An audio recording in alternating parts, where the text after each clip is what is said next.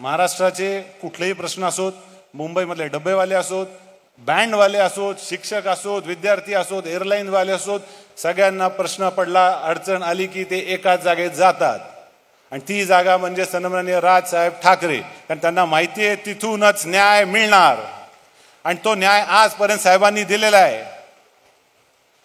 साहेबांकडे जातात साहेब बोलतात बोलले की ह्यांची होती अडचण. आणि त्या अडचण झाल्यावरती ह्यांची फाटती टारकन कशी फाटती? जोरात. कशी फाटती? कशी फाटती? टर जय हिंद जय महाराष्ट्र. धन्यवाद शिरोळे साहेब. यानंतर महाराष्ट्र नवनिर्माण सेनेचे सरचिटणीस सन्माननीय अजयभाऊ शिंदे यांना मी विनंती करतो की त्यांनी आपले विचार मांडत.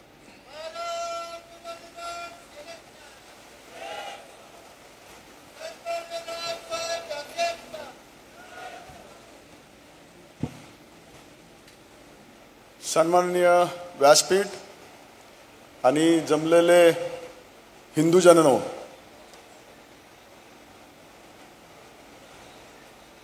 आज मी तुमच्या सगळ्यांचं पुण्येश्वराच्या पुण्यात स्वागत करतोय.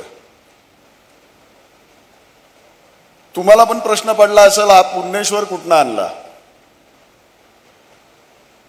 कारण या पुण्याला पण पुण्येश्वर हा थोडासाच माहिती आहे.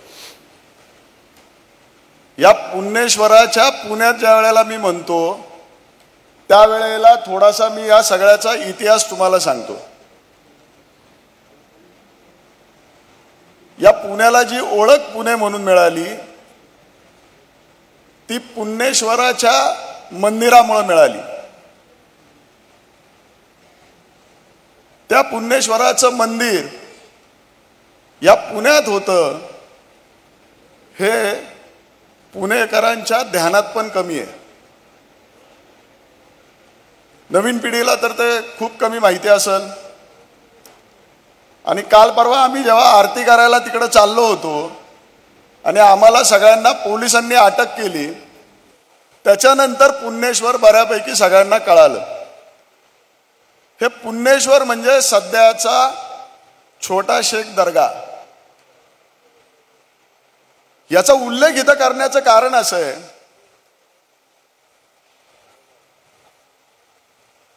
की दोन महिन्यापूर्वी जेव्हा आदरणीय हिंदू जननायक राजसाहेब ठाकरेंनी हिंदुत्वाची भूमिका प्रकरपणे मांडली आणि या देशात एक वातावरण हिंदुत्वाचं सुरू झालं.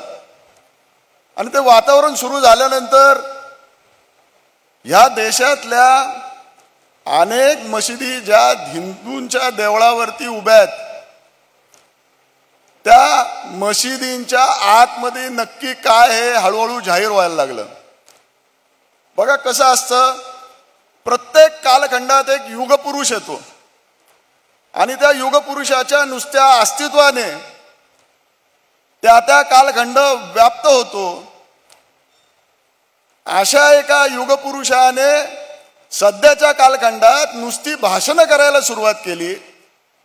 आणि त्या भाषणानंतर अनेक सरकारी यंत्रणेला जाग यायला लागली. न्याय व्यवस्थेला जाग यायला लागली. आणि मग ती जाग कशी येते याचं उदाहरण जर आपण घ्यायचं झालं तर ज्ञानव्यापी मशीद.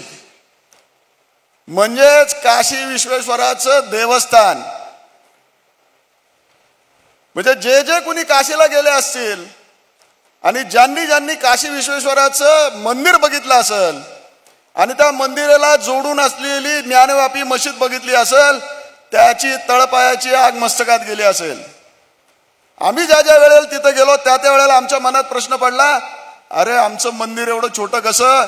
आणि एवढी मशी एवढी मोठी मशीद या ठिकाणी उभी कशी?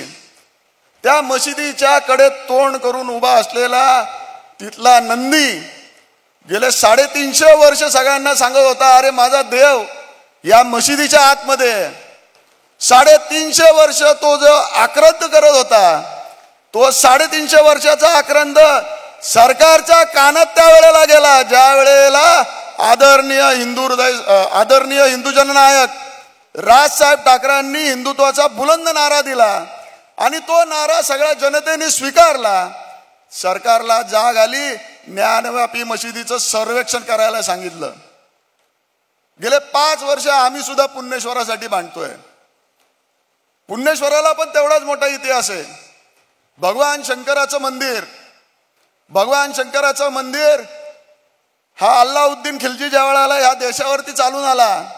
त्याचा एक सरदार बडा अरब म्हणून तो या पुण्यावरती चालून आला. आणि त्यांनी हे मंदिर उद्ध्वस्त केलं. एक मंदिर नाही दोन मंदिरं उद्ध्वस्त केली. पुण्येश्वर आणि नारायणेश्वर. तुम्हाला प्रश्न पडला असेल ही दोन्ही मंदिरं कुठं आहे एक मंदिर आहे शनवराड्याच्या बरोबर समोर. आणि दुसरं मंदिर आहे लाल महालाच्या थोड्याशा पलीकडच्या बाजूला जिथं कुंभार वेस आहे. अशा ठिकाणी जिथं आज छोटा शेख दर्गा आहे. या दोन्ही मंदिराचा इतिहास इतका मोठा आहे. नाथांच्या गाथेत आहे. कदाचित तिथं ना संत ज्ञानेश्वरांनी कीर्तन केली असतील अभंग म्हणले असतील याचे उल्लेख नाथांच्या गाथेत आहेत. ही सगळी मंदिरं उद्ध्वस्त झाली. या सगळ्या मंदिरांच्या वरती मशिदी निर्माण झाल्या. आणि आपला हिंदू बांधव दर्ग्यांमध्ये डोकं टेकवायला जातो. अशा दर्ग्यांमध्ये डोकं टेकवायला जातो ज्या दर्ग्यांचा संबंध औरंगजेबांशी आहे. असा औरंगजेब जो छत्रपती शिवाजी महाराजांना संपवायला या महाराष्ट्रावर चालून आला. अठ्ठावीस वर्ष अठ्ठावीस वर्ष मावळ्यांनी त्याला या महाराष्ट्रात झुंजत ठेवला. असा बादशाह जो हिंदुस्थानवरती राज्य करत होता मुसलमानी शासक होता सगळी म्हणून जी मंदिरं मी तुम्हाला आत्ता याच्यापूर्वी उल्लेख केली ती सगळी मंदिरं मग काशी म्हणू नका मथुरा म्हणू नका अयोध्या म्हणू नका ही मंदिरं भंजित करण्याचं काम ज्या औरंगजेबांनी केलं त्या औरंगजेबाचं थडगं मराठ्यांनी या महाराष्ट्राच्या भूमीत गाडलं. त्या औरंगजेबाचा नातू ज्या पुण्येश्वराच्या मंदिराच्या इथं गेला आणि त्याची कबर ज्या ठिकाणी आहे त्या ठिकाणी आपण माथा टेकवायला जातो. सगळेच जातात का असं नाहीये?